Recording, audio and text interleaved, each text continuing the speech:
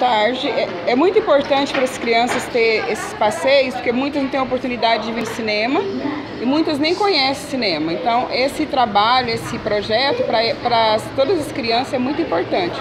Elas têm a oportunidade de conhecer, de ter novas aprendizagens, participar desse projeto, é, para elas é muito bom, elas se divertem e aprendem muito.